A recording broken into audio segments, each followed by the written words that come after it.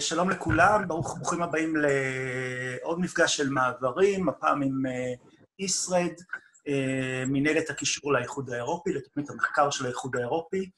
שמי פרופ' דוד לוי פאור, ואנחנו עושים את המפגש היום עם הזוכים במענקים של ה-ERC בשתי מטרות. אחת, לחנך את הדור הצעיר, דוקטורנטים, תלמידי מחקר, תלמידות מחקר, פוסט-דוקטורנטים שנמצאים ברשת שלנו, ושמחים לדוגמה. דוגמה מהחוקרים הבכירים בתחומים, במקרה הזה, של המפגש הזה במדעי החיים, ו... ואפשרות להתפתח. הייתי רוצה לראות הרבה מהחברים הצעירים מקבלים את המענקים האלה ומענקים אחרים. אז תודה למשתתפים. את המפגש היום תוביל עמיתתי הטובה סמדר הירש מישרד, ואני אעביר לה את זכות הדיבור וזכות הניהול. תודה רבה, דוד. שלום לכולם. נעים מאוד. אני רוצה רק שג'סיקה, אם תוכלי להרים את היד, לנופף לכולם לשלום. ג'סיקה ואני מאיסרד, המנהלת הישראלית לתוכנית המחקר והחדשנות של האיחוד האירופי, ואנחנו היום בשיתוף עם מעברים נארח שלושה אנשים בעלי ניסיון עשיר ב-ERC, ואני מקווה שזו רק תחילת הדרך ב-ERC של שלושתם.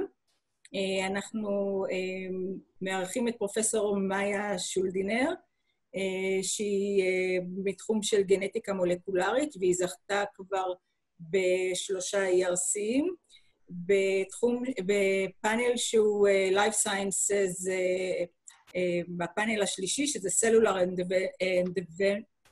Developmental Biology.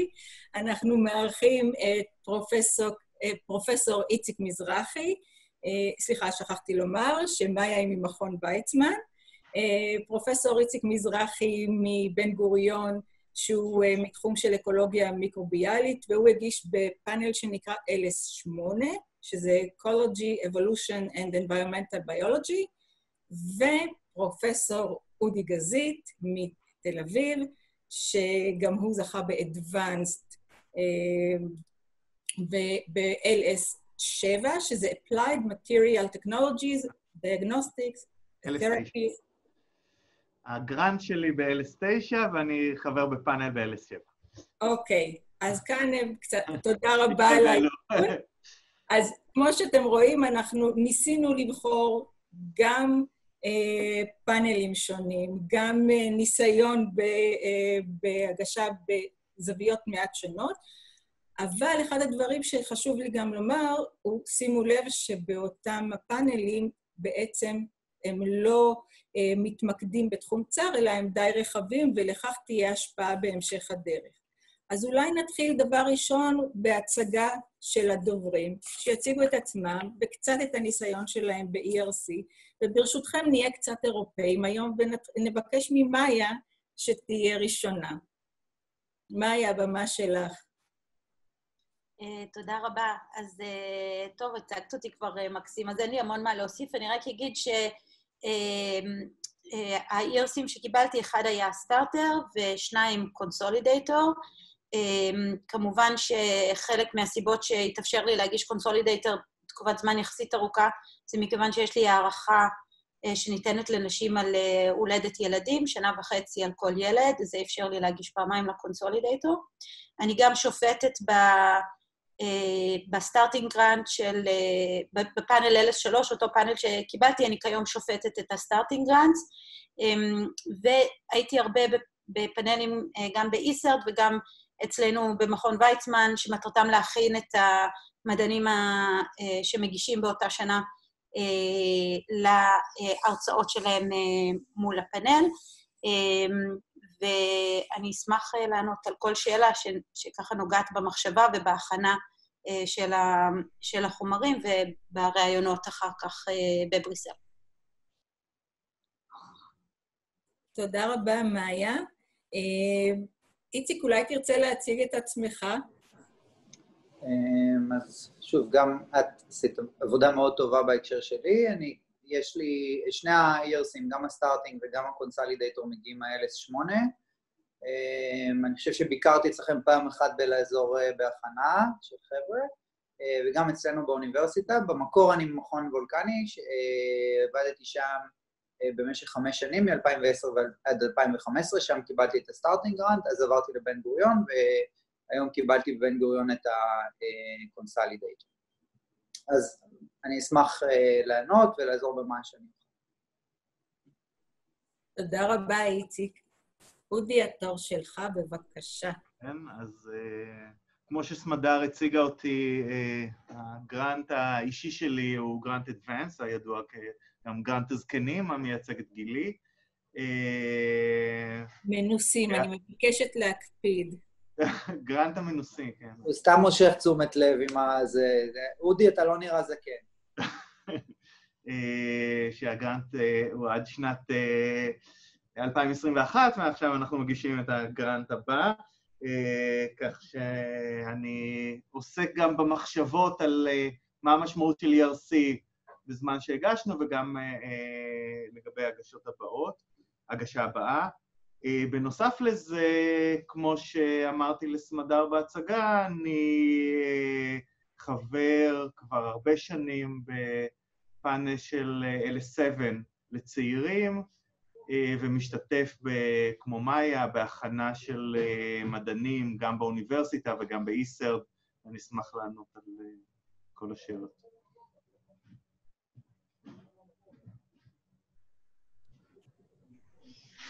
תודה רבה לכם. אני רוצה ברשותכם שנתחיל מהניסיון האישי שלכם לדבר קצת על גיבוש רעיון המחקר. איך בכלל אתם מתחילים אה, לחשוב מה יכול להיות פרויקט או הצעה שתתאים לפרויקט מסוג ERC, ובעיקר אחרי שגיבשתם את הרעיון, גם איך מתקשרים את זה נכון כדי שההצעה תהיה הצעה מוצלחת. אז מי מכם ישמח לענות ראשון? אולי אודי, נתחיל איתך? אופס, המיוט. אני, כמו שאמרתי, עכשיו אני בדיוק עסוק בגיבוש המחשבות ל-ERC הבא. אני חושב שהמשמעות של ERC, וכל מי שמקשיב לזה מודע לזה, זה באמת לרעיון גדול. מבחינתי, ERC הוא המנגנון שמאפשר לנו להסתכל על ולנסות לגייס כספים למחקר שאני חולם עליו, שאפשר, אה, שיש בו הרבה העזה, שהוא יכול להיות טרנספורמטיב, לשנות אה, הלכי רוח במחקר מסוים, חייבים לחשוב בגדול. זה אה, הגשה ל-ERC היא שונה בצורה מהותית מהגשה שאנחנו רגילים. לקרנות הישראליות כמו ISF, BSF, GIF. זה ההזדמנות לשאול שאלות גדולות, להעז. עכשיו, גם כחבר פאנל, זה מה שאנחנו מחפשים. אנחנו מחפשים את אותם מדענים שיש להם את האומץ להעז ולשאול שאלות שהן לא אינקרמנטל, אלא שאלות שיכולות לשנות את, את עולם המדע. אה, וזה הדבר, אני חושב, החשוב ביותר. קודם כל, להגיע עם רעיון שהוא רעיון שהוא טרנספורמטיב, שהוא יכול לשנות אה, אה, בצורה מהותית. מעבר לזה, צריך גם לגבש תוכנית מאוד סדורה, שיש בה היגיון, יש בה מבנה, יש בה מסלולים שבהם אפשר לתקן אם יש לנו סיטואציה שבה אנחנו נקלעים לתוצאות שאנחנו לא מצפים להן. אה, אז זה שילוב של רעיון גדול מצד אחד, אה, ותוכנית מאוד סדורה ופיזיבול, ועם אה, כל מיני אמצעים שבהם אנחנו יכולים להבטיח את הצלחת התוכנית, גם במקרה של כישלונות נקודתיים מהצד השני. אז זה ככה עניינת שלה, אני אשמח להרחיב אחרי זה. תודה רבה. אה, מאיה, כן. אה, אז אני מסכימה לגמרי עם אודי, אני אתן אולי עוד אספקטים שאני חשבתי עליהם בהגשה שלי. אני, אני חושבת שמאוד מאוד חשוב, כשמתחילים לחשוב על, ה, על הפרופוזל, להתחיל לחשוב בארבע רמות. הרמה הראשונה היא, איך אני מגדיר או מגדירה לעצמי את התחום שבו אני רוצה שהפרופוזל יעסוק, ולמה זה חשוב? כי הצורה שמגדירים את התחום תגדיר את ה-reviewers, והצורה שמגדירים את ה-reviewers יגדיר אם יש לכם סיכוי לקבל את זה או לא. אז צריך להגדיר את זה בתוך תחום של reviewers שמכירים אתכם, שמעריכים אתכם, שהם חיוביים, כאילו, לשאלות האלה, ולפעמים הצורה שבה מגדירים אה, תחום יכולה לשנ... לשנות את זה בצורה מאוד מאוד דרמטית.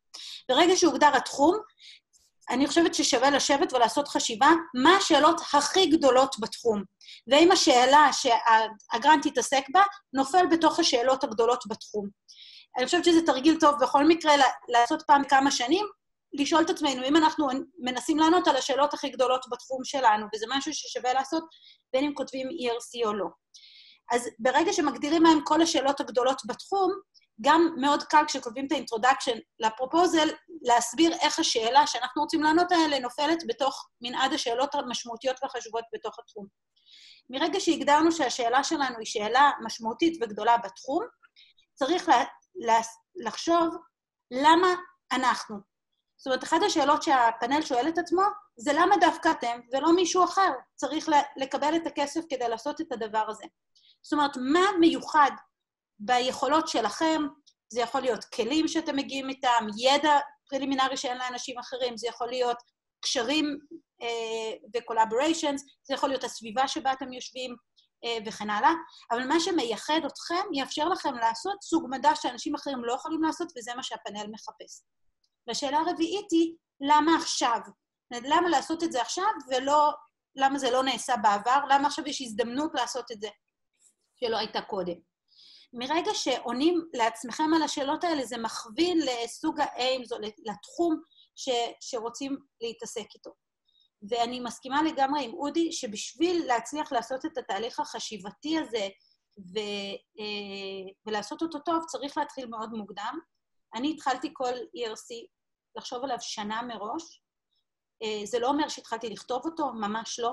אז זה אומר שהתחלתי לעשות pitching לאנשים, לתפוס אנשים לשיחה, ולהגיד להם, זה מה שחשבתי, זה הסיבה, זה שלושת ה aims, ודרך השיחות האלה עם אנשים מהתחום שלי, עם אנשים שאני מעריכה שהם לא מהתחום שלי, אז הלך והתעצב סט של רעיונות והגדרות שהיה מאוד מאוד חזק, ואנשים שמנסים לעצב את זה מהר בחודש האחרון, פשוט לא מספיקים לעצב את זה בצורה משמעותית. ואם מתחילים שנה מראש, אז כבר אחרי שגומרים לעצב את, ה, את המבנה, אז יש זמן להשיג preliminary data, שהוא גם כן חשוב בהצעה הזאת, ואולי נדבר על זה בפעם אחרת, למה חשוב פה preliminary data. אמ, אני חושבת שאולי איך שאני הייתי מגדירה את ה-ERC, זה לא שהוא בא לענות על שאלות גדולות, כי אני חושבת שבמדע, אני חושבת קשה להגדיר מה זה שאלה גדולה או קטנה, כמו זה בא לאפשר לך לעשות משהו בצורה הוליסטית. זאת אומרת, שתיקח נושא ו, ותקיף אותו מכל הכיוונים שלו. ובשביל להבהיר לפאנל איך אתה תקיף נושא מכל הכיוונים, אתה צריך זמן לאבד את, ה, את השאלות שתתעסק בהן. תודה רבה, מאיה. איציק, אני רואה שאתה עוד מוכן.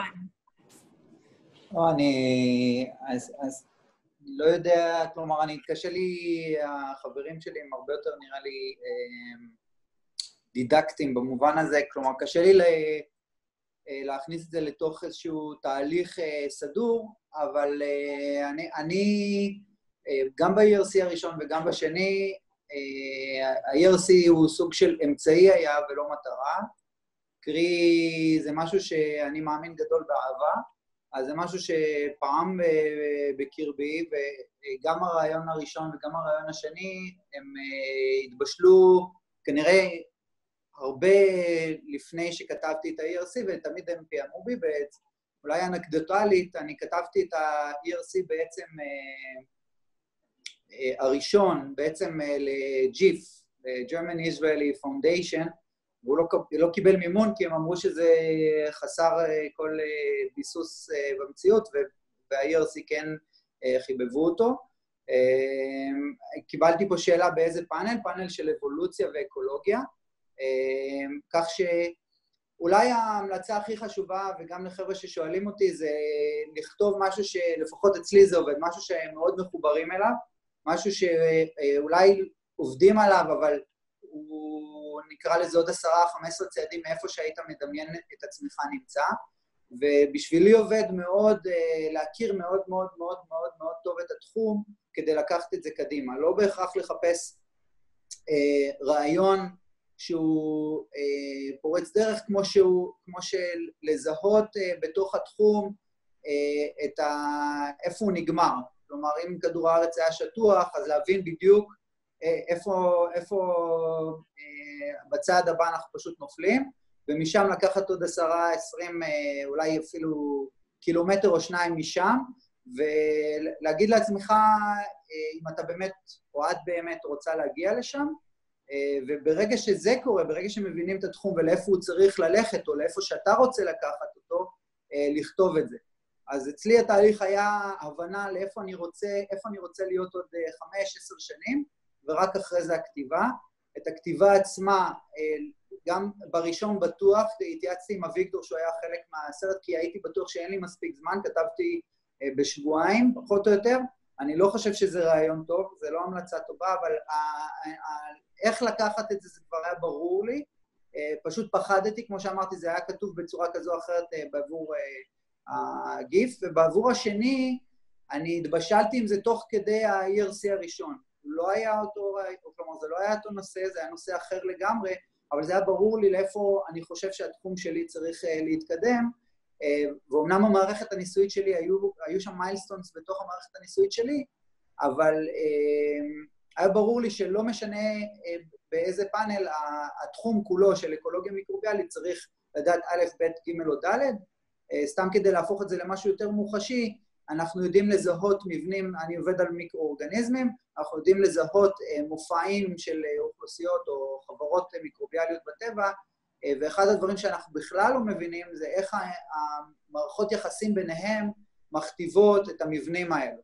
עכשיו, זה נושא שהוא מפחיד להיכנס אליו, כי זה, זה מאוד מאוד מפחיד האמת להיכנס אליו, כי בעצם אין לנו מושג, אבל ניסיתי לפרוט את זה למשהו שהוא יותר מכניסטי, כדי כך שאפשר יהיה לפרק אותו ובעצם להרכיב אותו מחדש, אה, וזה הציק לי תוך כדי העבודה על ה-ERC הראשון. ו- ואז כתבתי את זה גם כן בבת אחת, גם ב-ERC השני, אה, וזה עובד. אבל שוב, התהליך הוא תהליך מאוד מאוד ארוך, מתוקף הימצאותי בתוך התחום של עצמי. אז זה הסיפור שלי. אני רוצה רגע להתייחס לדברים שאיציק ומאיה אמרו. אני אוהב את ההגדרה של מאיה של ההוליסטי, זה באמת אולי הגדרה יותר uh, מתאימה. זה את הסתכלות ב-ERC, גם כאפליקנט וגם זוכה וגם כחבר פאנל, באמת היכולת, אולי, אולי זה מגדיר את מה שאמרתי לגבי אה, נושא גדול והתוכנית הדידקטית והיכולת באמת אה, בחמש שנים האלה להצליח גם אם לא הכל הצליח כמו שתכננת, זה ההוליסטיות. לקחת נושא חשוב ולהסתכל עליו בצורה הוליסטית. עוד נושא שאני אני נותן את החמישה סנט שלי, אבל... אה, וכל אחד יכול לעשות את זה אחרת. גם ב-ERC, גם במאמרים, דרך אגב, אני עושה משהו שהוא הפוך מעבר ממה שמלמדים לעשות. אני מתחיל במחשבה האם אני יכול לכתוב אבסטרקט של אה, אה, כמה אלפי תווים, שיוכל להגדיר את השאלה, ואז אני יכול לדעת במאמר או בגרנט, האם יש לי, אה, אה, מאיה דיברה על פיץ', האם אני יכול לעשות את הפיץ' לרעיון הזה, והוא יהיה מספיק אטרקטיבי בכדי אה, לבנות את הצעת המחקר? אז שוב, כמו שאמרתי, אני עושה את זה גם במאמרים. אני חושב שזה תרגיל טוב, זה, זה נותן אפשרות, ואפשר לעשות את זה יחסית מוקדם, עוד לפני התהליך. הארוך של הכתיבה המלאה של ההצעה, להבין ולחדד את, ה, אה, את הכיוון שאנחנו רוצים לקחת אותו, ואיך בגדול, מ-30 אלף רגל, אנחנו אה, רוצים להתמודד איתו. תודה רבה לכם. אה, אני רואה שבינתיים נכנסות כמה שאלות, אבל ברשותכם, את כל השאלות האלו אנחנו נתייחס אליהן לקראת הסוף. אה, כשנפתח את הבמה לכולם ותוכלו לשאול את השאלות. אתם התחלתם כבר לתת בעצם טיפים לכתיבת ההצעה מבחינת גיבוש הרעיון, אבל הייתי רוצה שנתקדם עכשיו, אחרי שכבר יש את הרעיון, שלב אחד קדימה. לשלב הכתיבה. איך כותבים את ההצעה, אם יש לכם טיפים טובים. כן, מאיה, אני רואה שאת... כן, בבקשה. אה, אז אה, קודם כל, כפי שכולם ודאי יודעים, אה, בהצעות של ה-ERC, החלק המאוד מאוד קשה לכתיבה זה שצריך לכתוב גם B1 וגם B2.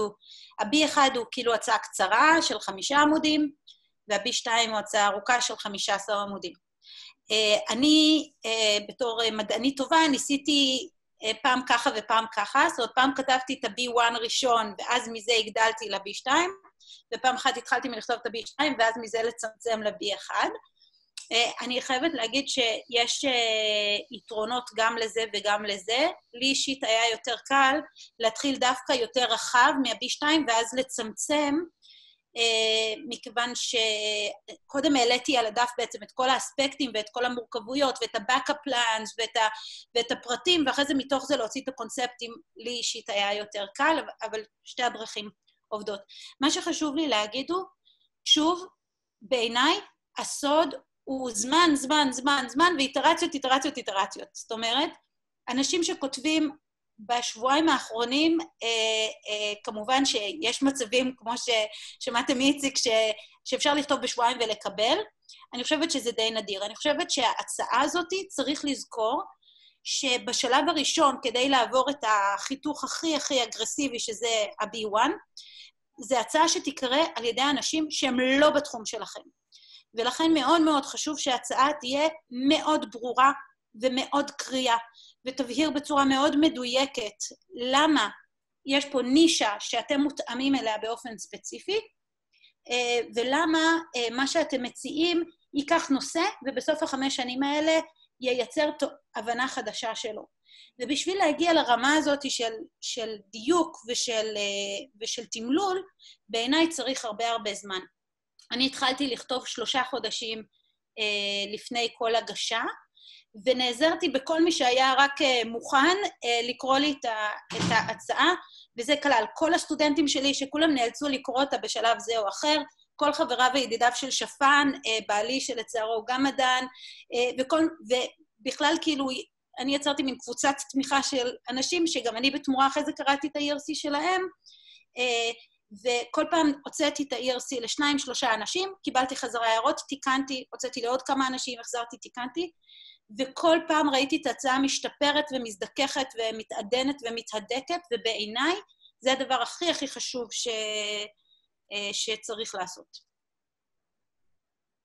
מאיה, אם אפשר, אני הייתי רוצה לשאול אותך רגע שאלה בהקשר של... עכשיו, חצי כובע בתור uh, זוכה וחצי כובע בתור... Uh, זאת אומרת, את שני הכובעים בתור פאנליסטית. Um, את תוכלי אולי בבקשה לחדד את ההבדלים בכתיבה בין B2 ל-B1, כי אמרת שבעצם מ-B2 אה, גלשת ל-1, אבל בעצם הציבור שקורא את ההצעה הוא שונה. נכון. אז, אז, אה, אז אולי אני בעצם אגיד ש... Uh, בשלב הראשון, אני מדברת על ה starters וה consolidators, אני לא מכירה את ה advanced, אולי על זה אודי יוכל להגיד יותר.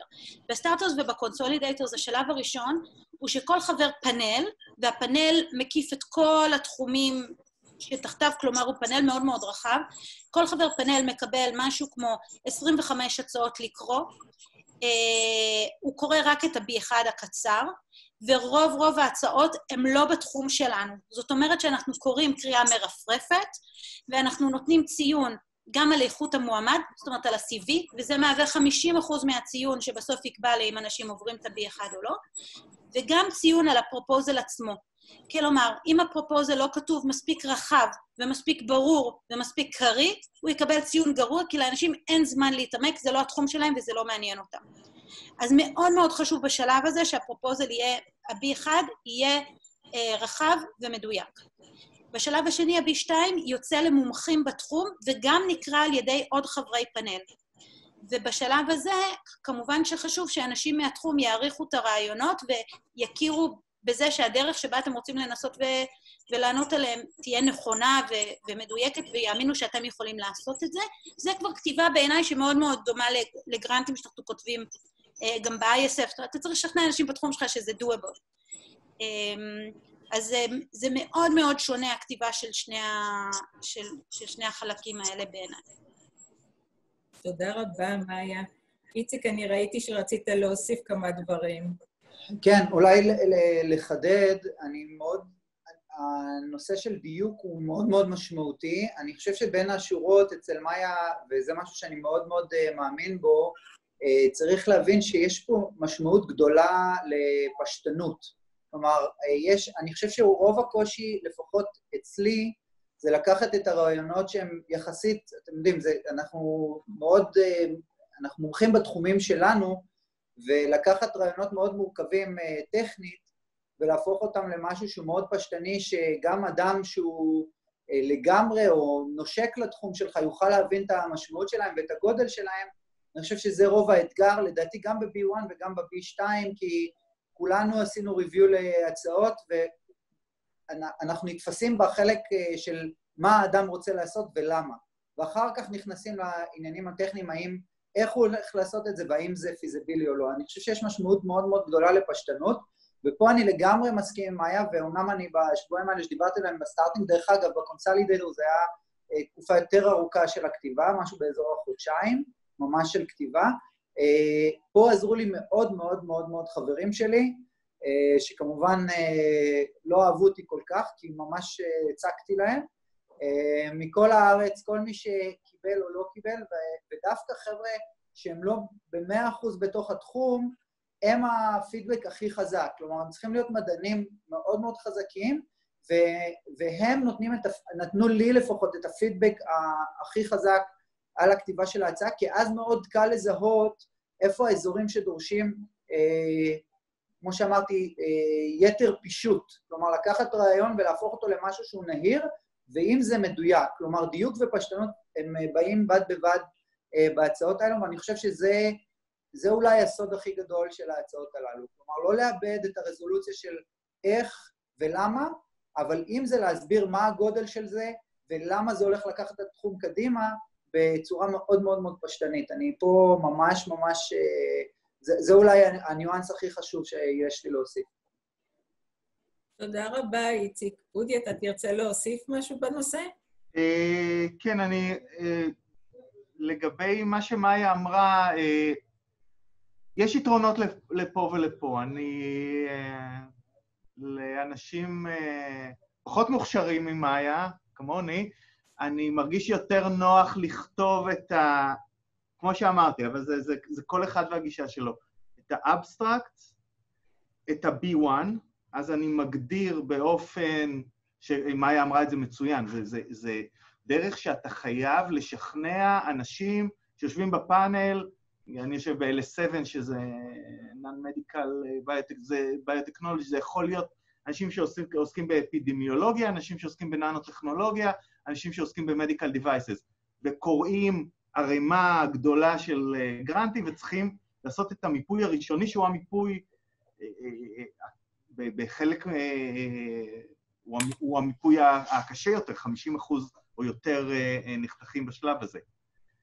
ואחרי שסיימנו את B1 מבחינתי, זה לשבת ולכתוב, כמו שמאיה אמרה בצדק, גרנט שהוא לא שונה מאוד מגרנט ל-ISF או GIF, שבו אתה משכנע את ה, עכשיו את הקולגות שלך שאתה יודע על מה אתה מדבר, אתה תעשה את זה נכון, אתה ת, ת, תתכנן את הניסויים בצורה אה, אה, נכונה. אה, לי יותר נוח ל, אה, אה, ללכת בנתיב הזה, אבל כמובן זה, זה מאוד אינדיבידואלי. אבל המסר המאוד חשוב, שה-B1 ו-B2 הם שני חלקים שמיועדים לקהל מאוד שונה. B1 ל-non-expert B2, הקולגות שלך, המתחרים שלך, האנשים הכי טובים בתחום, חייבים להבין שאתה יודע על מה אתה מדבר. זה חייב להיות מאוד מהודק ו... וברור. B1, אתה חייב לשכנע את הפאנל שאתה טוב, להציג את ה-CV בצורה הכי טובה שאתה יכול, ושאתה אה, מדבר, אה, אה, חושב על פרויקט גדול בצורה הוליסטית ואתה יכול אה, לתת פה אה, שינוי משמעותי בתחום. אז לי אישית יותר נוח בנתיב הזה, abstract B1, B2, כן. אם אני יכולה להוסיף טיפ סופר פרקטי, אה, שלי מאוד מאוד עזר, זה לפני שבכלל מרימים את העט לכתוב משהו, לייצר graphical abstract להצעה. graphical abstract זה בעצם figure שייכנס בתוך ה abstract, זאת אומרת, ממש בעמוד הראשון, כל חבר פאנל שיקרא, זה יהיה הדבר הראשון שייתקע לו בעיניים. מומלץ גם לעשות את זה אחרי זה יפה גרפית, אבל מעבר ליופי הגרפי, לחשוב רגע איך בשלושה משפטים, ובמה ש... אני מסביר לאנשים איך הדבר הזה אה, אה, ייתן תמונה מאוד מאוד מלאה של הצעדים שאני הולך לקחת קדימה. למשל, אפשר לחשוב על זה בתור פירמידה, שכאילו יהיה איזשהו בסיס, ואחרי זה התקדמות, ואחרי זה מגיעים לאיזושהי פסגה, אפשר לחשוב על זה בתור משהו ששלושת החלקים מתחברים למשהו שהוא גדול יותר מסך חלקיו, אפשר לחשוב על איזשהו תהליך, אבל בסופו של דבר, אם מצליחים בתוך הגרפיקל האבסטרקט הזה לייצר אה, תמונת מצב סנפשוט של איפה התחום יהיה עוד חמש שנים בעקבות ההצעה הזאת, אז זה גם ימכור את ההצעה נורא טוב לאנשים מהפאנל שקוראים אותה. אני למשל, אם יש graphical abstract ואני מבינה תוך שתי שניות מה מישהו רוצה לעשות, וואלה, מבחינתי הוא, הוא עובר. אה, וגם יעזור לכם אחרי זה לחשוב על ה aims ואיך הם אה, משתלבים אחד עם השני ונבנים אחד עם השני בצורה נכונה. וזה משהו ששווה לעשות לפני שעוד מרימים בכלל את ה... או נוגעים במקלדת. אני מסכים לגמרי עם מאיה, אני חושב שזה זה, זה מתחבר למה שדיברתי בהתחלה, על, ה abstract מאוד מהודק, אולי graphical abstract עוד לפניו.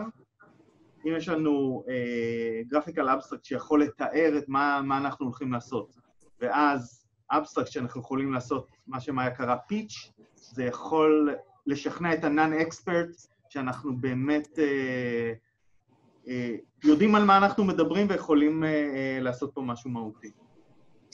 אולי, אולי רק להוסיף, בהקשר הזה אולי אה, לי עובד יותר טוב לכתוב את ה-B2 מהסיבה הזאת בדיוק. זה מסדר לי את הרעיונות כך שיש לי יותר חופש פעולה, ואז יותר קל לי לצמצם אה, ולזקק את הרעיונות ולפשט אותם. אבל אה, זה, זה, כמו שמאיה אמרה, וגם אודי, זה עניין אינדיבידואלי. תודה רבה. אה, טוב, אז עכשיו, אחרי שכבר הגשתם אה, וזכיתם, בואו ספרו מה המענק הזה עשה בשבילכם. איך זה קידם אתכם? מה היתרונות? סדר, שנייה לפני שזוכים, יש את הריאיון, אנחנו רוצים אולי לדבר עליו טיפה? כי... אנחנו נדבר עליו. את רוצה עכשיו? בבקשה. לפני שזוכים, כי זה חלק ענק מה... נכון, ב Starting וב Consolidator עד עכשיו זה היה must, uh, ב Advanced עד עכשיו זה לא היה קיים. לנו פטור מזה. אבל ה Advanced בשנה הבאה מצטרף לשלב. שלב שני עם ריאיון. אז מאיה, בבקשה. אז קודם כל אני אגיד שלפחות בפאנל שאני שפטתי בו, 75 אחוז, 70, וחמישה אחוז מהאפליקנטים לא עברו לשלב הראיון. זאת אומרת, צמצמו מ-90 אפליקנטים ל-20 לראיון, אה, ומהראיון כבר איזה 15 קיבלו, או 13 קיבלו, משהו כזה. זאת אומרת, אם כבר הגעת לשלב הראיון, אז היה לך סיכוי מאוד מאוד טוב, רק צריך לא לפשל כאילו בזמן, ה...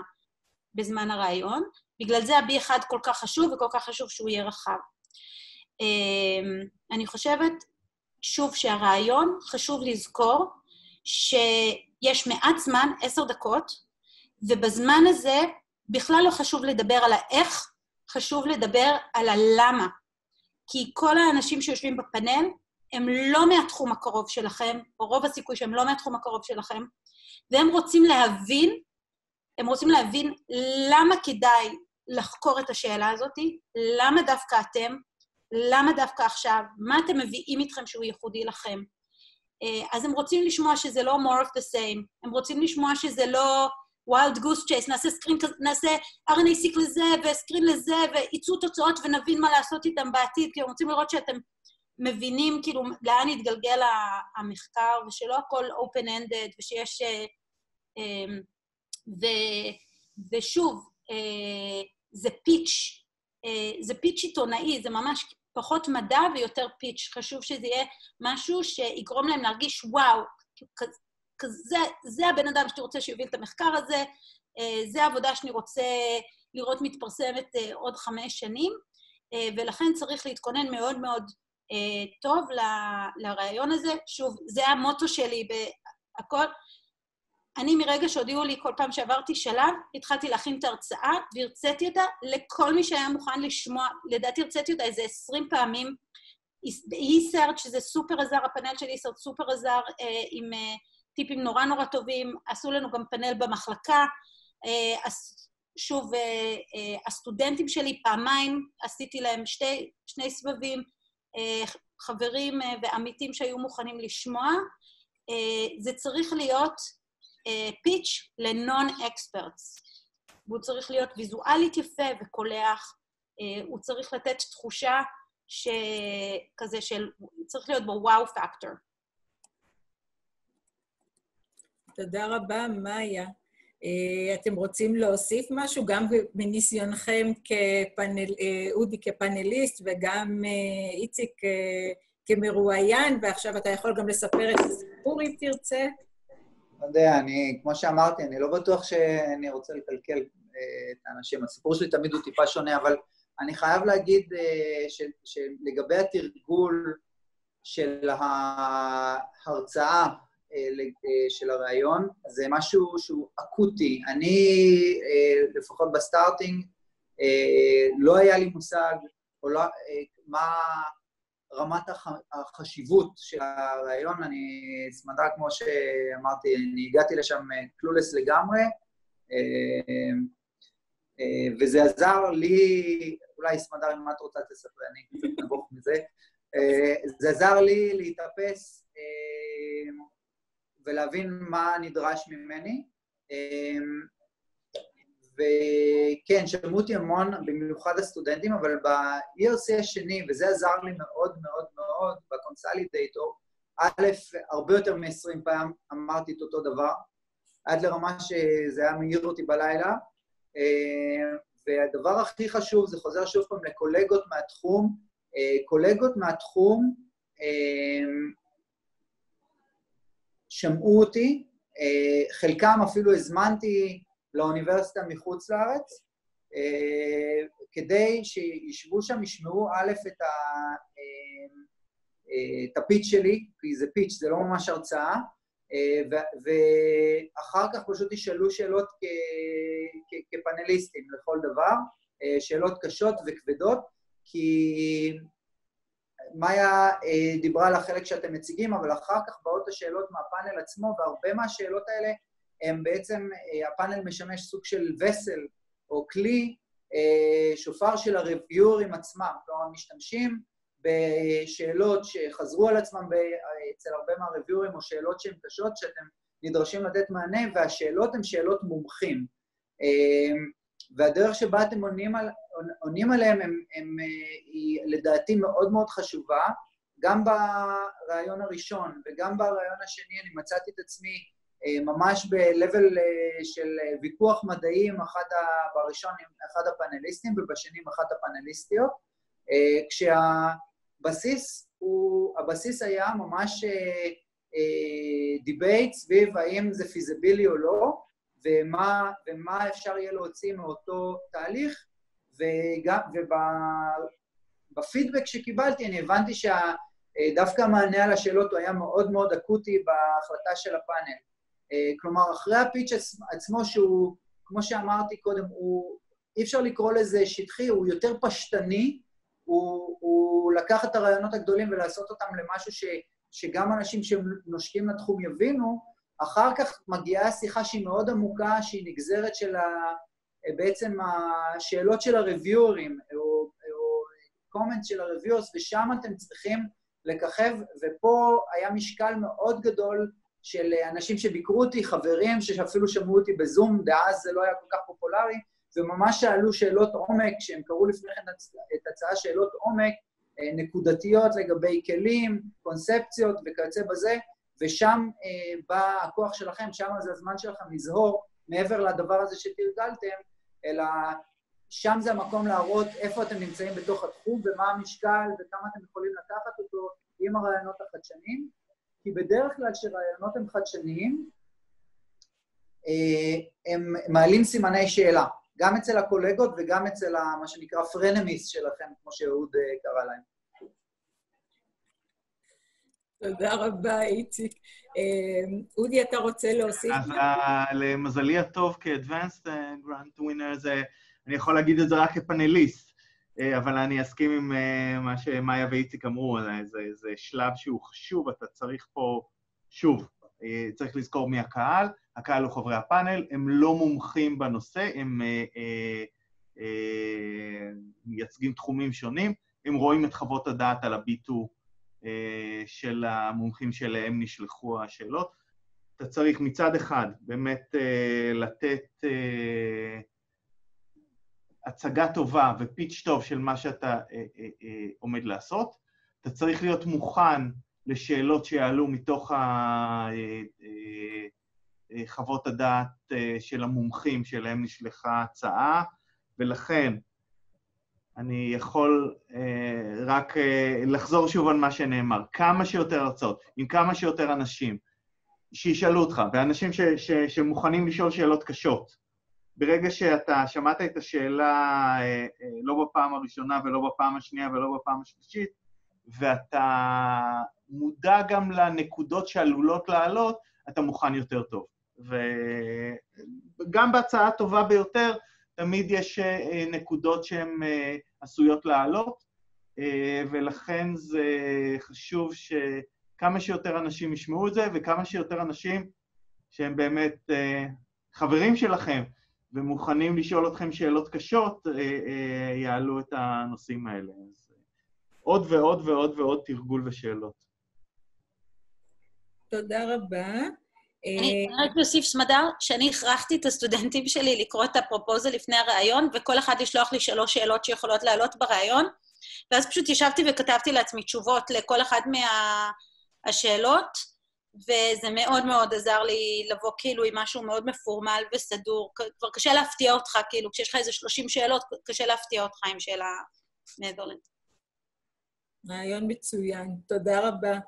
אמ, אני רציתי לשאול, מאחר ששלושתכם נמצאים במוסדות שכבר זכו לא מעט ב-ERC ויש הרבה מאוד ניסיון, תוכלו אולי לספר במשהו על העזרה שאולי קיבלתם in-house מתוך המוסד? מי רוצה להיות ראשון? איציק, אולי תתחיל אתה. אה, אודי. אוקיי, בסדר. אה, כמובן, אה, יש לנו, אני חושב שגם עינת רוני נמצאת פה בפורום, אה, יש לנו עזרה מצוינת ל-ERC, אני פה קצת ב-conflict of interest, כי כשהייתי סגן נשיא מזמן, מזמן, מזמן, אז הבנתי שהיו אז רק שלושה ERC באוניברסיטת תל אביב, ואוניברסיטאות אחרות, אני חייב להודות שהיו יותר. הקמנו יחידה, ו... העזרה היא מצוינת לחוקרים, אה, כולל מעבר על ההצעות, אה, אינטרוויוז, לאלה הצעירים יותר שהולכים לרעיונות שבהם, אלה למסלולים שבהם יש רעיונות, אה, עזרה אדמיניסטרטיבית, כמו שכולכם יודעים, ההתמודדות עם הטפסים של הקהילה האירופית, גם למדענים מבוגרים כמוני, זה, זה עדיין לא קל, אה, ויש צורך, יש רשויות מחקר מצוינות בכל האוניברסיטאות שלנו, ותעזרו בהן. אה, גם שאלות שנראות לכם אה, טריוויאליות, לפעמים לאחראים על, ה... על היחידות אירופה ברשויות המחקר יש תובנות ורעיונות, הם ראו הרבה מאוד הצעות, ההצלחה של ישראל בתוכנית, כמו שכולנו יודעים, היא מצוינת, והרבה ניסיון אה, אה, נאסף, והתמיכה באוניברסיטה שלנו היא מעולה, ואני בטוח שגם באוניברסיטאות האחרות. תודה, אודי. איציק, רצית להוסיף משהו? אמ, אמ, את ה-ERC הראשון אני כתבתי בעצם בלי עזרה, אני הייתי אה, אז במכון וולקני. אה, אני חושב שאני הראשון שקיבל שם ERC, ואז כשהגעתי לבן גוריון הבנתי את המשמעות של תמיכה. כי אנחנו, יש לנו נטייה לחשוב, אוקיי, זה רק מדע, אבל יש פה המון המון עניין, נקרא לזה, יש פה המון עניינים טכניים, טקטיים וכיוצא בזה, ואצלנו יש מישהי שהיא פשוט מדהימה, אה, שמה ג'ני רקח, והיא היא באמת באמת מדהימה.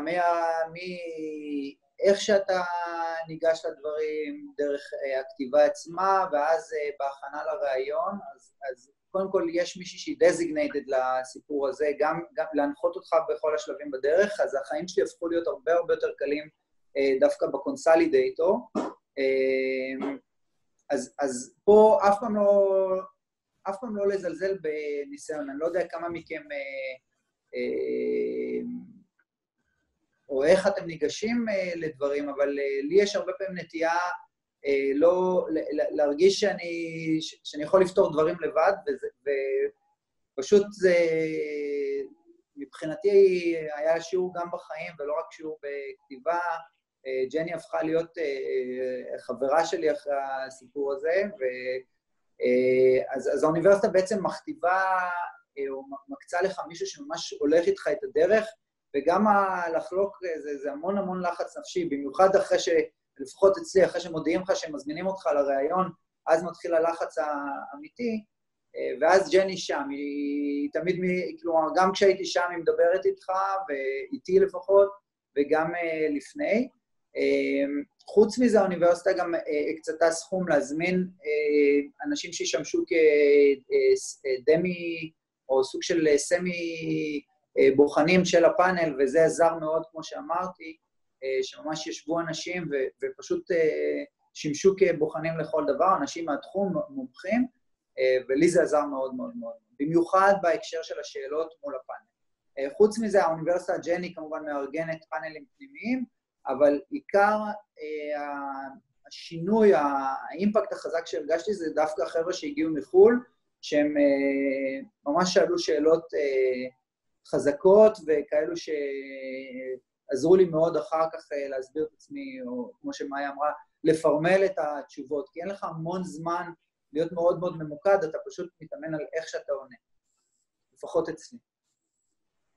תודה, איציק. אה, אז אני אולי אוסיף, אה, כמובן גם אצלנו יש research grants project office עם צוות ייעודי ל-ERC, שגם יש כותבת מקצועית שעוזרת עם הכתיבה, גם ב-ESERT אה, מאוד מאוד עזרו לי גם עם שאלות של אליג'ביליטי ומה בדיוק אפשר או אסור לכתוב וכל מיני דברים כאלה. אני רוצה שוב להדגיש פה, זמן.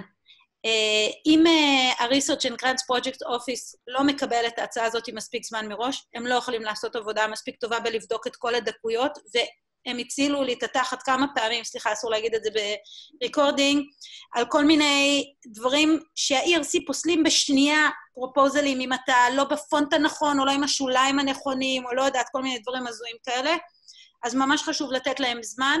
אה, אה, לעבור על הכל אה, כמו שצריך.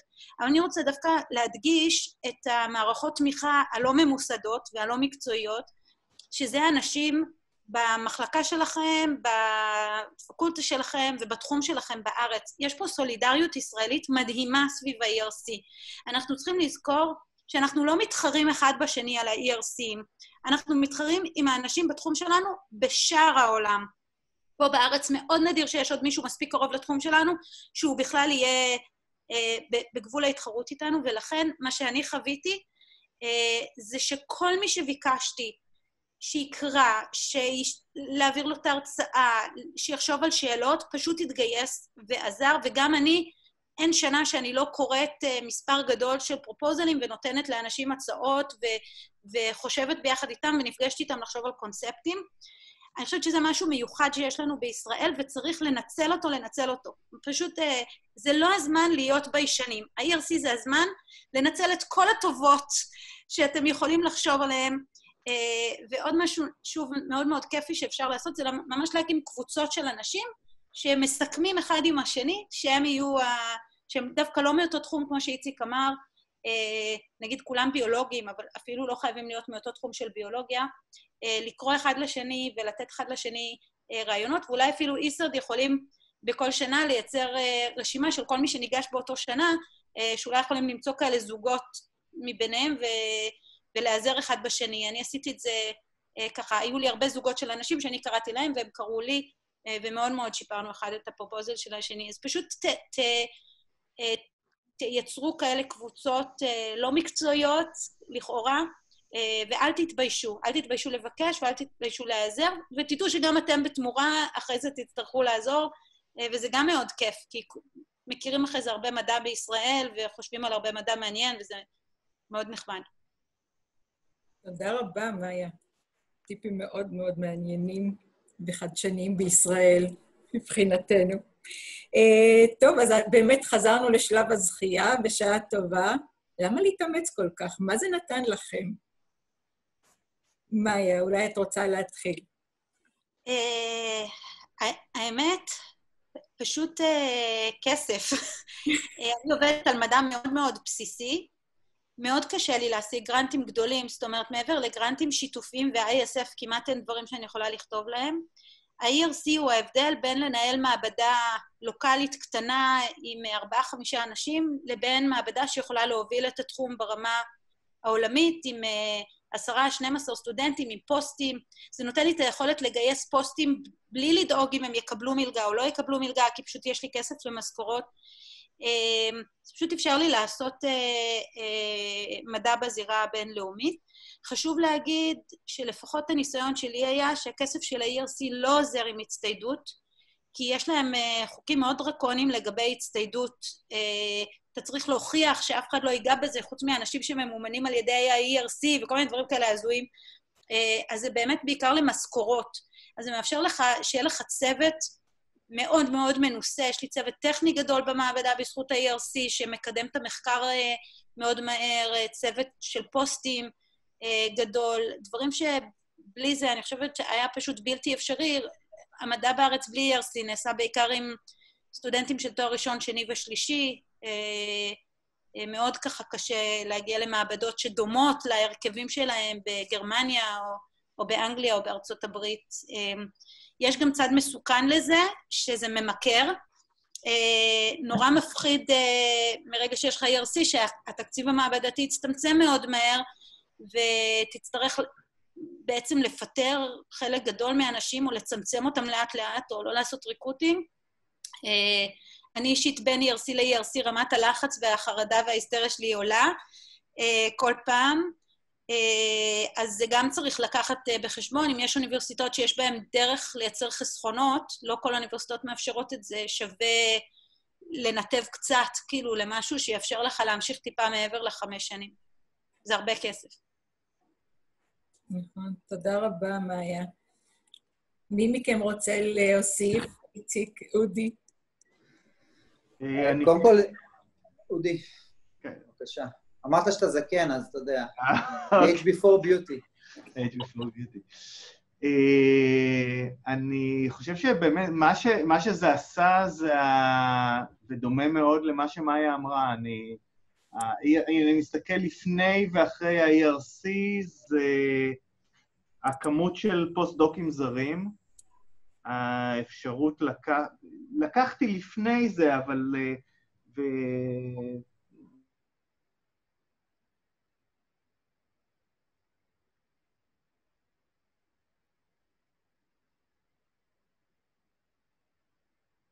זרים. שחלקם מאוד מוכשרים וגם הצליחו לקבל uh, מלגות בפני עצמם, אבל uh, זה שיש לך איזושהי רשת ביטחון כלכלית, זה מאפשר לך לקחת את הסיכון הזה, ומבחינתי זה היה קפיצת מדרגה בנושא של הבינלאומיות של המעבדה. הצלחתי להביא פוסטוקים מאוד טובים, שאני תמיד משווה אותם ל... לנו, הפוסט-דוקים הישראלים שיצאו לארצות הברית, וחלקנו הגדול תרם מאוד במעבדות האמריקאיות, שהגיעו עם ניסיון, והביאו אפילו שיטות מהדוקטורט שלהם למעבדות שבהם הם היו בפוסט-דוק. אני מרגיש שהצלחתי לעשות אותו דבר עם פוסט-דוקים זרים ש...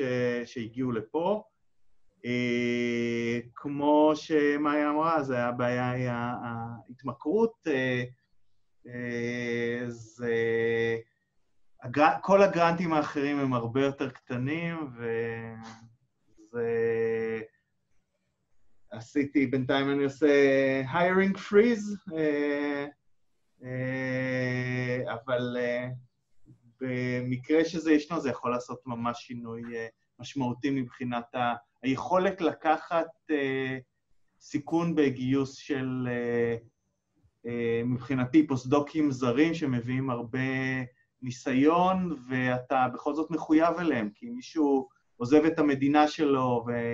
ומגיע לכמה שנים, אתה צריך להיות בטוח שאתה יכול uh, להבטיח את, ה... את הקיום שלו, חלקם כבר עם uh, בעלי משפחה, uh, זה גם אחריות גדולה. תודה רבה, אודי. איציק? אז קודם כל, הנה, זה, זה עוד משהו שהפאנל הזה הביא. אני, השותפות בחרדות האלו שמאיה ציינה, זה, זה כיף לי לשמוע, אולי צרת רבים מחצי נחמה, אה, אבל עדיין חצי. אה, הלחץ הזה של... אתה לא הולך לאיזה נחמד טיפשים?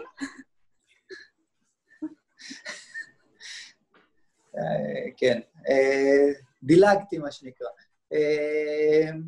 אז, אז קודם כל, הפחד הזה, אחרי שהמימון הזה נגמר, זה, זה בעיקר הלחץ שאני מתחיל בזה, ואז אני אציף אולי עוד איזושהי בעיה שזה יצר, אבל אז את כל היתרונות של זה, אז, אז הלחץ הזה של אה, אה, להגיד לאנשים, במיוחד טכניים, אה, לעזוב ברגע שהמימון הזה הולך, זה משהו שהוא קיים כל הזמן, ויכול להיות שזה אולי חלק מה driver להגיש, ולמה? כי, כי בעצם, כמו שמאיה אמרה, אני, אני החכמתי תוך כדי ה-ERC, ה Starting Grant, אה, האינסטינקט הראשוני שלי היה להכניס הרבה אנשים למעבדה, ואז הבנתי שלפחות לאופי שלי זה לא מתאים.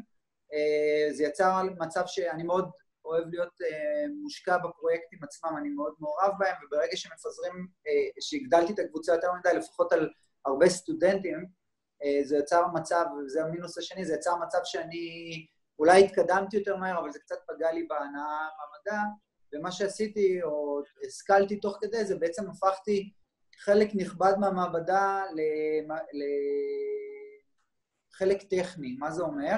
כל סטודנט אצלי הוא עטוף בלפחות אחד או שני טכנאים בתוך המעבדה.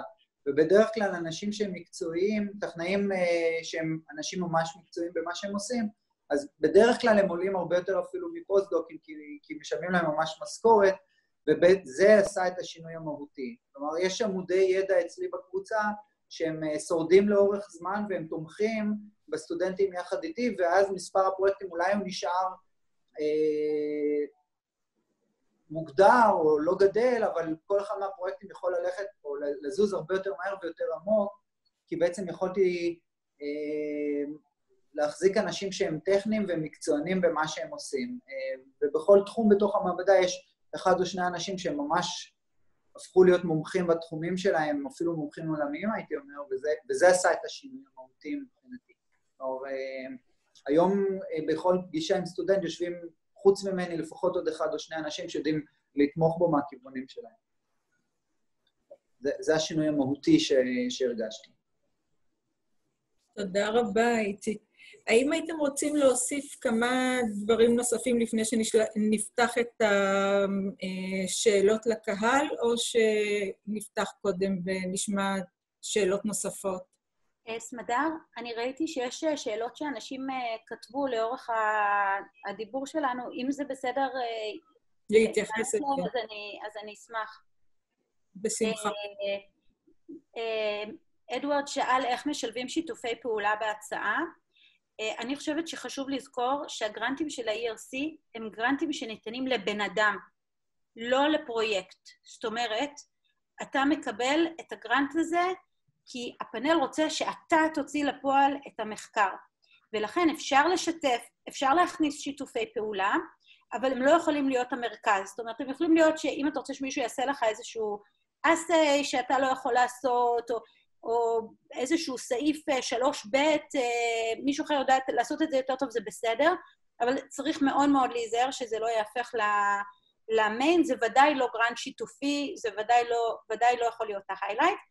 אין אפשרות אה, להגיש מכתבי תמיכה, נגיד כמו ב-ISF או משהו כזה, אתה פשוט כותב, כאילו, הקמתי שיתוף פעולה עם הבן אדם הזה והזה, וסומכים עליך אה, שזה המצב. אז כן אפשר לשלב אותם בזהירות, בעדינות, לא יותר מדי, ושלא ייקחו את הזרקור ממך, אה, בעיניי. אודי ואיציק, יש לכם עוד משהו להוסיף לפני שעונים לעוד שאלה? אז אני גם ב-ERC הראשון וגם ב-ERC השני ציינתי אנשים שיהוו תמיכה בעבור דברים מאוד מאוד ספציפיים. אני אתן דוגמאות קונקרטיות, למרות שאנחנו באים מתחומים שונים. אה, לצורך העניין, אנחנו עכשיו מתעסקים, אני שוב פעם אקולוג מיקרוביאליים, ואנחנו מתעסקים במערכות היחסים בין המיקרואורגניזמים.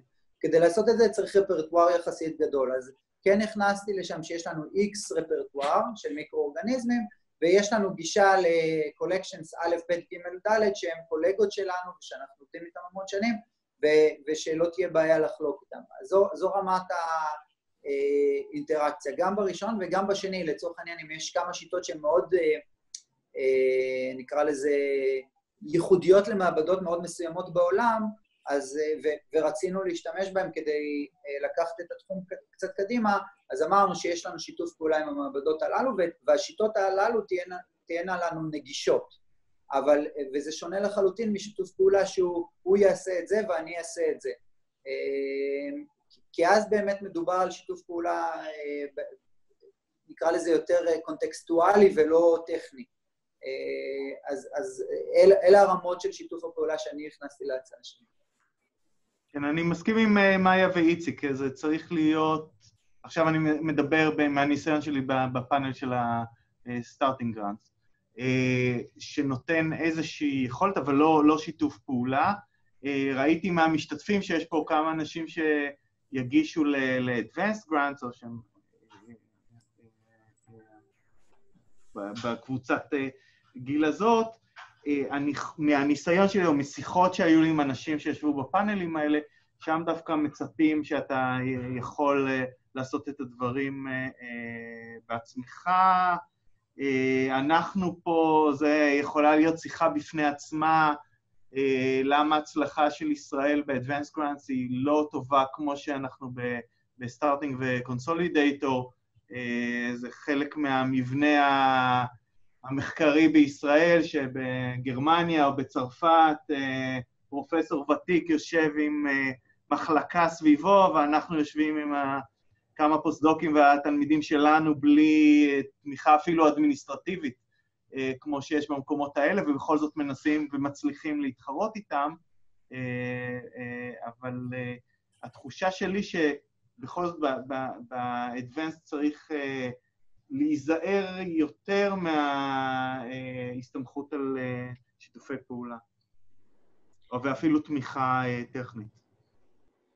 תודה רבה. אני רק רוצה להזכיר לכולם שאומנם ב-21 זה לא יהיה רלוונטי, אבל יש גם מסלול שנקרא סינרג'י, ובו בהחלט יש מקום לשיתוף פעולה, אבל זה בכלל בסוג אחר. אני לא חושבת שהשאלה התייחסה לזה, אבל אם אני טועה, אז uh, אנחנו כמובן נוכל להרחיב על כך uh, יותר מאוחר.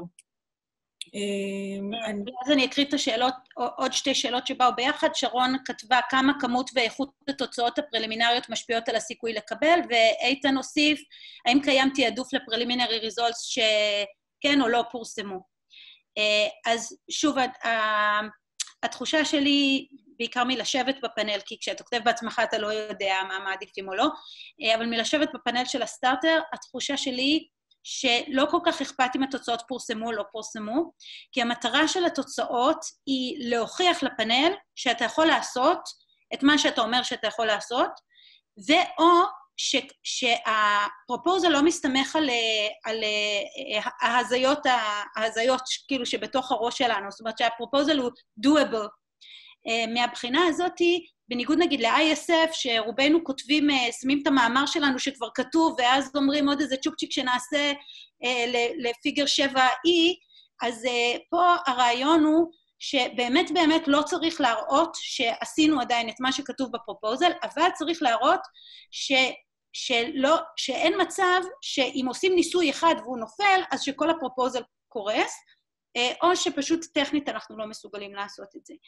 אה, אני חושבת שיש רק פעם אחת שיש יתרון להראות פרילימינרי רזולט שהם לא מפורסמים, וזה אם, ה... אם ההסבר ללמה אני הוא כי יש לי ידע שאין לאף אחד אחר, אז התוצאות הפרלימינריות צריכות להיות לא מפורסמות. אבל אם ההסבר ללמה אני זה כי אף אחד אחר בתחום זה לא מעניין אותו, או אף אחד אחר אין לו את הטכנולוגיה הזאת, או אנשים לא חשבו עד עכשיו לעשות איזושהי סינתזה של תחומים שאני מסוגל לעשות, אז זה לא חשוב שיהיה פרלימינרי דאטה שהוא, שהוא אינדיבידו, אינדיבידואלי. אבל, אבל כן, אם זה מסביר why me, why now, אז אף אחד אחר לא צריך לדעת את זה. תודה רבה, מאיה. אמ, אני יכול, אה, אני יכול להוסיף אה, רק, שוב, אני לא יושב בפאנל, אני רק הגשתי את ההצעות. הדרך שבה אני השתמשתי בתוצאות אה, ראשוניות זה אולי מכורח או מההוויה של ההצעה עצמה, אני השתמשתי בהם רק כשהיה מדובר בכלים טכניים.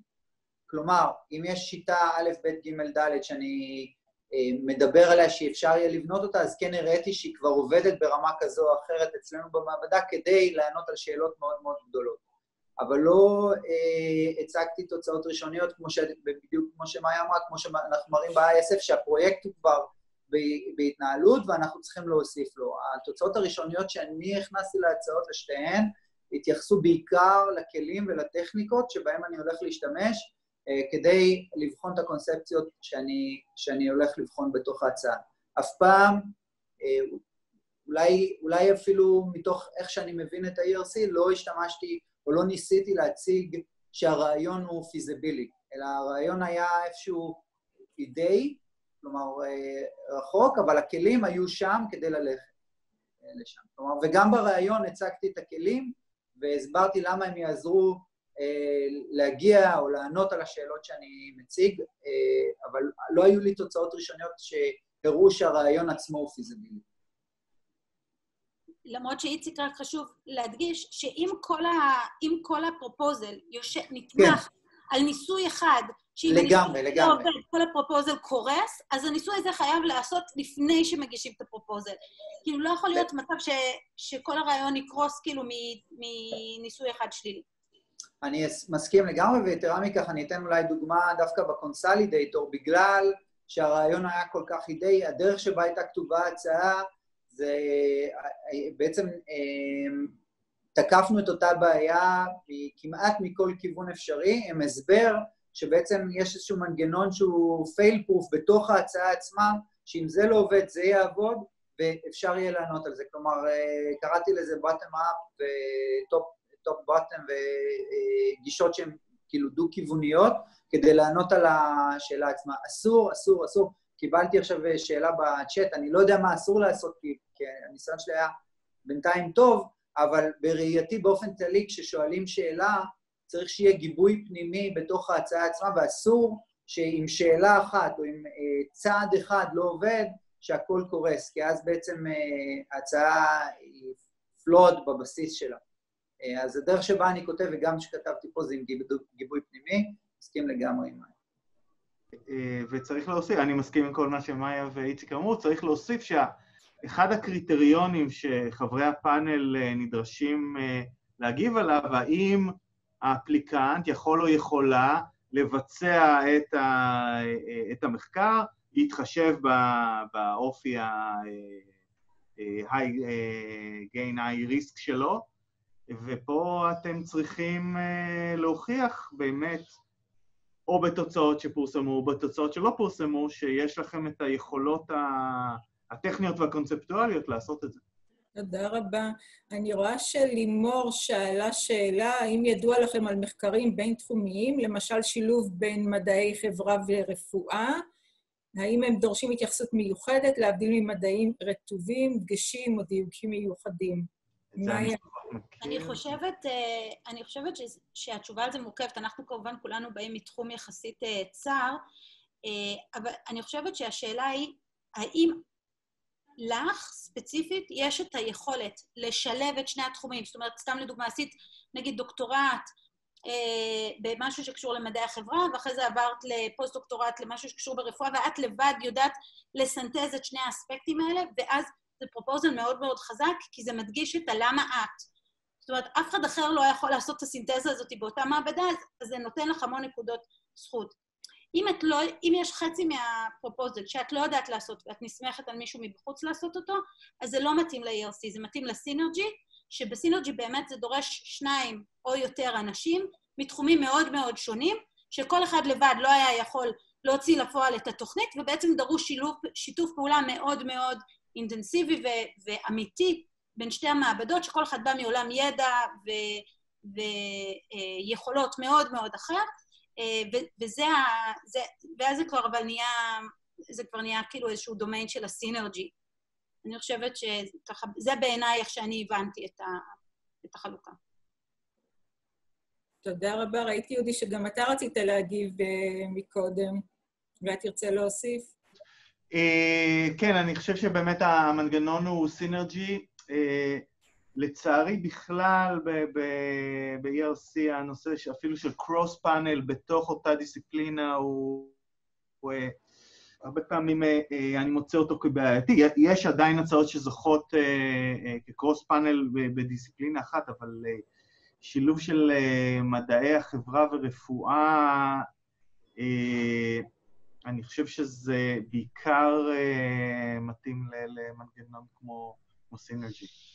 אה, אבל אה, מהצד השני, אני, הגישה שלי, למרות שזה, כמו שאנחנו, זה דורש הרבה להגיש הצעת ERC, אם אתה מאמין, או אתה או את מאמינים שאתם יכולים לשכנע את הפאנל ואת הריוויואר, שאתם יכולים לשלב בין תחומים, אני, אישית, אתם יודעים, אנחנו אה, הרבה פעמים נתקלים בבעיות כי אנחנו עושים דברים של מדעים פיזיקליים לחלוטין, אלקטרוניקה ו... ופיאזואלקטריות עם ביולוגיה. ולפעמים, אה, לעיתים קרובות יש לי בעיה לשכנע אה, אה, חוקרים באינטרדיסציפלינריות. זה לא כל כך רחוק כמו מדעי החברה ורפואה, אבל זה מדעים פיזיקליים ומדעים ביולוגיים, ולפעמים אנחנו מצליחים לשכנע. אז אני רוצה לעודד לנסות, כי חברי הפאנל, פה אני אגיד לטובת חברי הפאנל, הם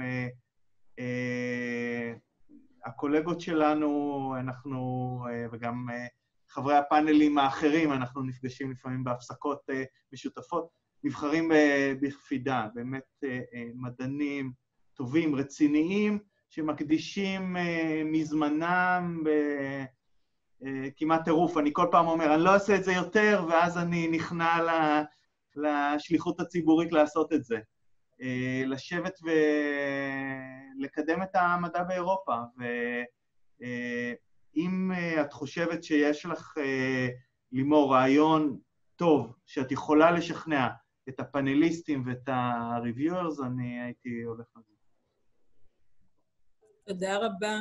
אני רואה שהגיעה שאלה מדוד, מהם הקווים המנחים שמורים על התאמה גבוהה בין המגיש לבין ההצעה? והוא ישמח לדוגמאות.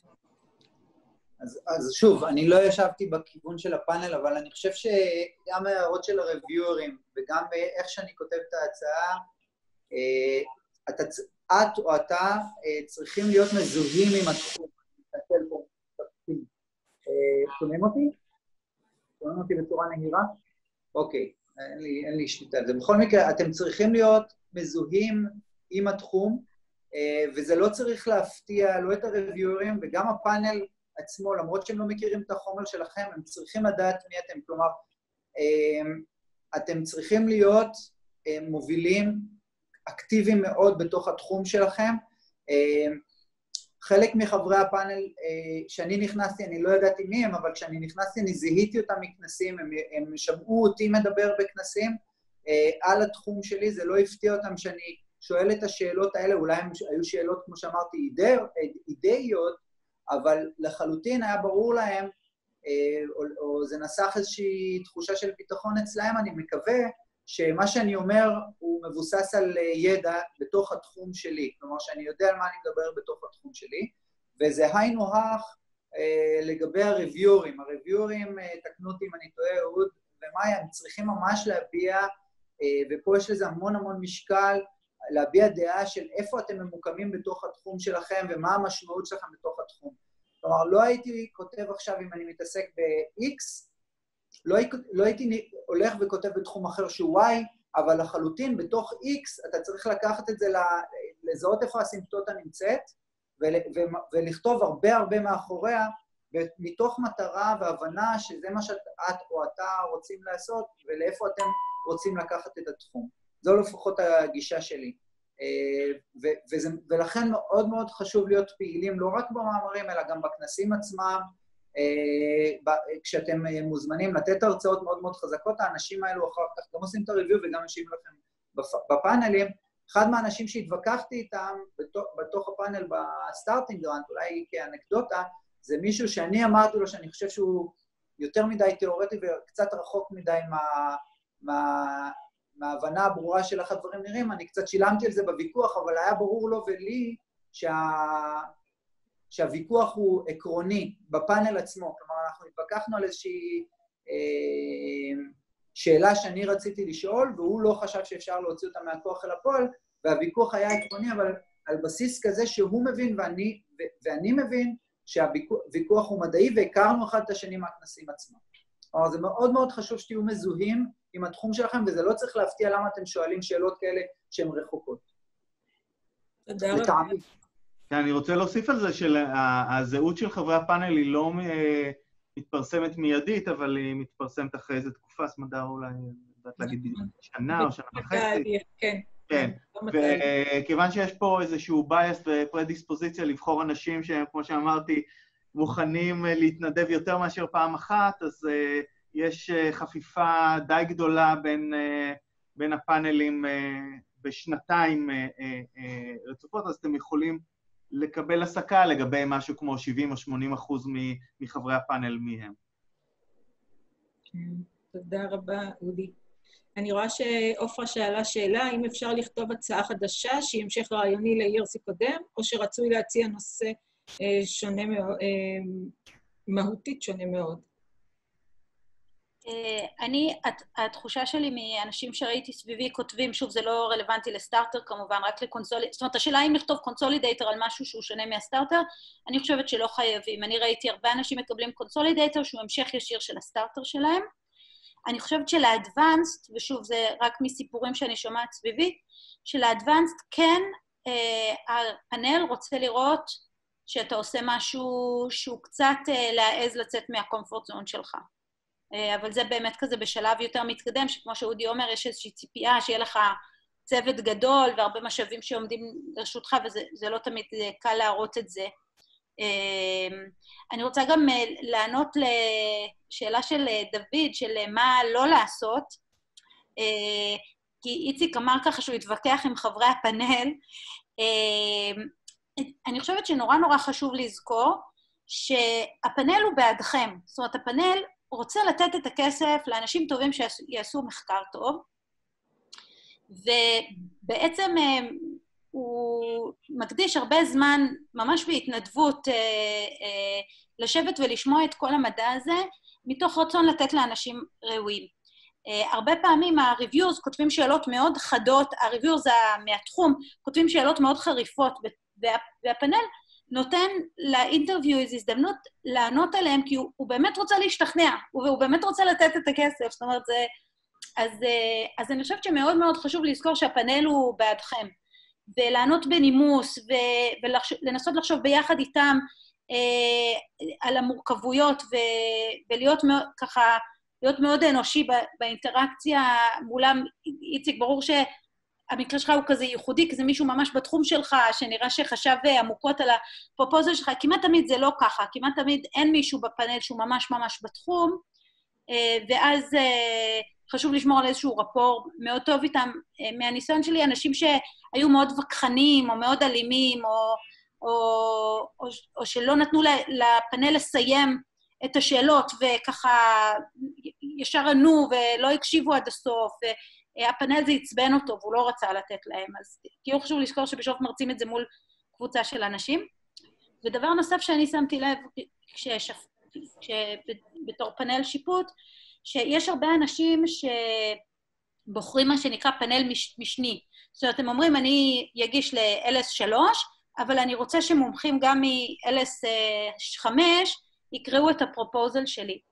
אה, אנשים שעושים את זה בדרך כלל, המחקר שלהם הוא על התחום, בין שני פאנלים, והם רוצים לוודא ש... שלא יתפספס, כאילו שהם לא ייפלו בין הכיסאות של פאנל. אבל מהניסיון שלי, כל מי שעשה את זה נפל לפני ה-B1. והסיבה היא מאוד מאוד פשוטה, שכשאתה בפאנל מסוים, אתה מקבל 25 פרופוזלים לקרוא, זה מלא עבודה, זה שותה לך חודש מהחיים, ובא לך למות. ואז אם בנוסף לזה מבקשים ממך, בסוף שגמרת את כל זה, מבקשים ממך לקרוא עוד שני פרופוזלים של מישהו שהוא לא מהפאנל שלך, הסיכוי שאתה תהיה חיובי לגביו הוא אפס, כאילו באמת זה חייב להיות סופרסטאר כדי שלא תרצה לרצוח אותו על זה שהוא הפיל עליך את העוד שני פרופוזלים האלה.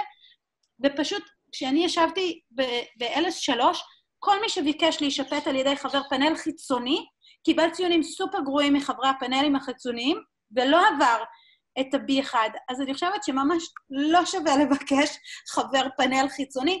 כל הפאנל שאתם חושבים שהכי מתאים לכם, ותסמכו על זה שהם ידעו לראות uh, מדע איכותי, כאילו לשפוט מדע איכותי.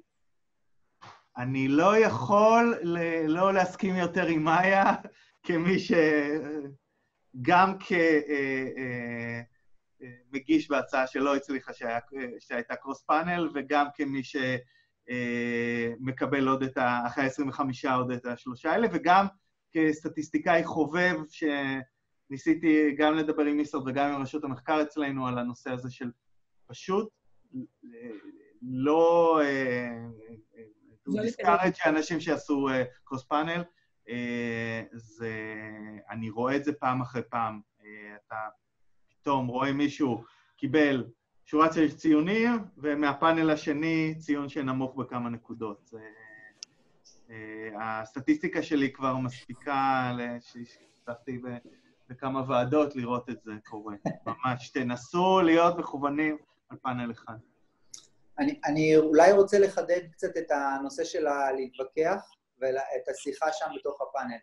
אז, אז בראייתי, באופן כללי, אני חושב שהתנהלות אה, נכונה היא מאוד מאוד מאוד חשובה. זה משהו שדרך אגב למדתי מאוד, לפחות באימפקט הראשון שלי בישראל, אה, כמו שאמרנו, אני הגעתי לשם קלולס, אבל לחלוטין, אם אה, מציגים לכם, לטעמי, ושוב, זו דעתי האישית, מציג, מציגים לכם אה, אה, שאלות שהן קשות, אה, כמובן שזה צריך לעשות בנימוס ובהתנהלות מאוד מאוד, אה, נקרא לזה מקצועית, אבל לא לפחד לעמוד אה, על שלכם, לפחות במקרה שלי, זה היה ממש עניין עקרוני, זה לא, לא הגיע לצעקות או אלימות פיזית או מילולית, אבל לחלוטין, אה, בדיעבד פגשתי את אחת הפאנליסטיות, שהיא אורים ותומים בתחום, והיא ניגשה אליי ואמרה לי, תקשיב, השיחה שלך עם א' אה, עזרה לי מאוד מאוד מאוד להבין שאתה עומד מאחורי ההצעה.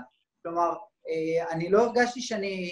זה לא היה ויכוח על בסיס של אגו, זה מה שניסיתי להגיד קודם. גם הוא וגם אני ניגשנו לוויכוח הזה ממקום שהוא עקרוני לגמרי, וזה היה אה, כמו לעשות הוכחה בטריגונומטריה או גיאומטריה.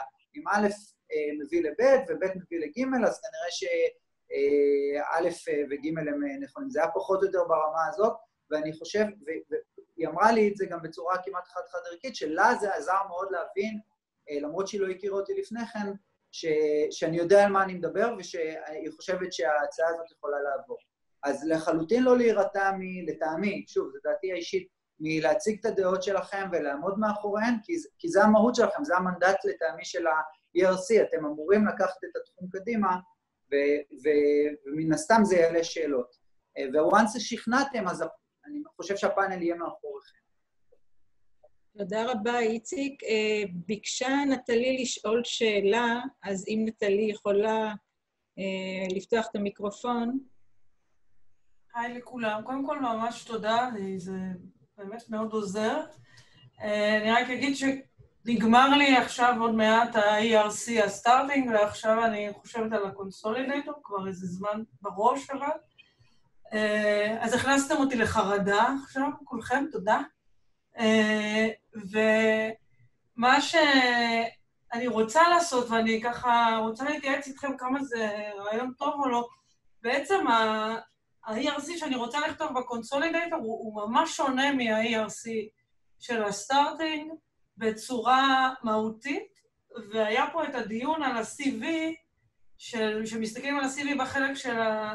זה, ואני תוהה, אני חושבת שכן יש לי contribution מספיק כדי להגיד שאני יודעת מה אני הולכת לעשות ואני יכולה לדחוף את זה קדימה, אבל זה לאו דווקא מה שקיבלתי עליו מימון ב-ERC ה-starting. זאת אומרת, יש publications, אני חושבת הם חזקים, יהיו עוד, אבל בגלל שאני עושה כמה דברים בקבוצה שלי, שחלק מהם זה Technology Development וחלק מהם זה, זה לשאול שאלה ביולוגית, אז השאלה היא כמה יהיה לזה משקל ומה המשמעות של זה, ואם אתם יכולים פה קצת לייעץ לי, במיוחד מי שיושב בפאנלים ויכול להגיד לי איך מסתכלים על זה. אז אולי אני אענה. אני כתבתי שלוש פעמים ERC, כל פעם על נושא לגמרי אחר, שלא קשור בשום צורה למה שהיה הפרופוזל הקודם. Uh, הפאנל לא יודע על מה הגשת את ה-ERC הקודם, אין לו גישה לפרופוזל, אין לו, זה גם לא מעניין אותו, הוא שופט את המחקר הזה לגופו. Okay. Uh, אני חושבת שכמו שפשוט, כמו שאת אמרת, חשוב שכשאת מציעה את מה שאת מציעה עכשיו, שתוכלי להוכיח שזה חשוב, שאת הבן אדם לעשות את זה, ושזה פיזיבילי. ואם את יכולה להוכיח את שלושת הדברים האלה, זה, זה לא, אני חושבת שזה לא משנה אם זה, זה תחום חדש אה, או לא, זה, זה התחושה שלי. כן, כן אני מסכים, אני חושב ששוב, כמו שמאיה אמרה, הפאנל לא יודע מה, מה היה בהצעות הקודמות, אה, ומה ש... והוא מתחיל מהסתכלות אה, אה, טריה, שבה הוא אה, בוחן האם יש לך את היכולת לעשות את זה. זה, זה גם מתכתב עם דברים שדיברנו קודם.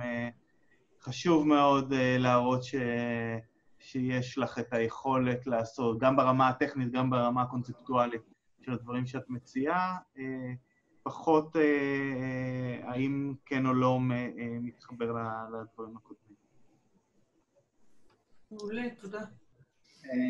אולי להוסיף, אני גם אה, שתי הצעות שונות לחלוטין אחת מהשנייה, הן בתוך אותו תחום כללי, אבל הן שונות אה, לחלוטין, תוקפות אה, בעיות שונות לגמרי. מכורח זה שהרגשתי שקצת מיציתי את התחום הראשון, ואז כתבתי את הנושא השני. נטלי, מההיכרות שלי איתך, אני ונטלי שייכים באותה מחלקה, אני מניח שאני גם, כשקודם עניתי, אני חשבתי עלייך המון, אני מניח שאני יודע על מה מדובר, ואני חושב שבמקרה הספציפי שלך, אה, דווקא הנושא שאת הולכת, שאת, אני מתאר לעצמי שאת רוצה לכתוב עליו את ה-consolidator, הוא לא? מחובר לגמרי, ברור שאני יודע, אז אני אומר, הוא מחובר לגמרי, הוא אולי, זה לא שינוי תחום, כי את בעצם נשארת באותן קונספציות, את מעבירה אותם לעולם אחר, את משתמשת באותם כלים, אז אני, זה לחלוטין אה, ולידי וטוב אה, לטעמי לאיוס. תודה. תודה רבה, איציק. אני חושבת שפשוט זמננו תם, אם כי נראה לי שאנחנו עוד יכולנו להישאר פה כך וכך אה, שעות ולדון ולמצוא עוד נקודות אה, אה, חשובות לציין. אז אולי רק סבב אחרון של טיפים אחרונים, אם יש לכם משהו ככה שנראה לכם שאולי אתם רוצים להוסיף כנקודה אחרונה למחשבה. לי, יש משהו שהוא, אמרתי אותו בהתחלה, אבל הוא משהו שהוא מאוד חשוב, זה חייב להיות בנשמתכם. אני חושב שבשבילי זה הנושא, אולי הגורם הכי חשוב בהצעה הזאת. זה חייב להיות ממש ממש בנשמתכם, זה לא צריך להיות שיקול טקטי, uh, המטרה היא לא לקבל, אלא ה-ERC הוא אמצעי, זה חייב להיות משהו שבוער בנשמתכם לעשות, וגם אם אתם לא מקבלים את הכסף, לשם אתם רוצים ללכת. אה, זה, זה הדבר הכי חשוב. ו, ו, ו, ואחרי זה בא כל, כל, באים כל העניינים הטכניים שדיברנו עליהם. זה חייב להיות משהו שמעיר אתכם באמצע הלילה, שהולך אתכם למקלחת וכיוצא בזה. זה, זה ההצעה הכי חשובה, ש... אולי התרומה הכי חשובה שיש לי לדיון. תודה רבה, איציק. אה, מסכים לגמרי. תודה. סליחה. אז אני רק אגיד, א', אם מישהו רוצה דוגמאות או יש עוד שאלות, אז גם מוזמנים לכתוב לי אה, למייל, כתבתי אותו קודם בצ'אט, אבל גם אפשר למצוא אותו בשנייה אונליין. אה, אני, אני חושבת ששווה לעשות כזה עם עצמכם איזשהו תרגיל, אה, שזה הכותרת ניו יורק טיימס של, ה, של ה-ERC proposal שאתם רוצים לכתוב. In five years from now, I would have discovered that, ומה יהיה כאילו המשפט שאתם רוצים שי, שיגדיר את החמש שנים האלה, ואם אתם יכולים לכתוב את המשפט הזה, אז מתוך זה כבר ינבע מה הדרכים לגרום לזה לקרות. ואם אתם לא יכולים לכתוב את המשפט הזה, זה יהיה כזה, I would have discovered that A and B and C and D, אז זה לא ERC טוב.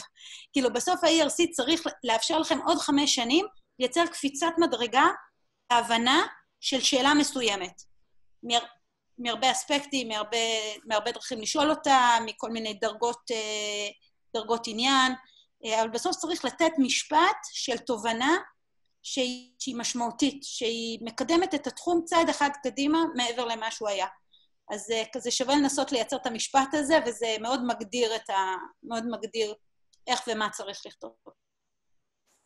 תודה רבה, מאיה. אני רוצה לבקש מדוד רק לסכם את היום ולהודות לכם שוב על תרומתכם המדהימה להיום הזה. דוד? כן, תודה, תודה, אה, תודה סמדר, תודה למשתתפים. אה, אני מקווה שזה יועיל ויהיה לנו הרבה אה, יותר ומחקר טוב ומענקים טובים מה-ERC. אני רק גם רוצה להגיד שכל הפעולה הזאת היא מודל, היא מודול או מודל של פעולה משותפת לפיתוח, קידום האקדמיה הישראלית מחוץ למסגרות המקובלות. אה, על ידי שיתופי פעולה, על ידי סולידריות אה, אקדמית ומחקרית בין מוסדות אה, ובין דורות. ואם יש לכם רעיונות איך לקדם דברים, אנחנו נשמח. תודה לכולם. בהקשר הזה, אני רק אגיד שמי שירצה לפנות אלינו עם הרעיון של מאיה לגבי זוגות, לנסות לשדך ביניכם, אז אתם מוזמנים לפנות ואנחנו נעשה כמיטב יכולתנו. תודה רבה לכולם. תודה רבה, דוד, למאיה, אודי ואיציק, המון תודה רבה לכם. המשך יום מקסים. תודה, תודה. תודה. תודה. ביי.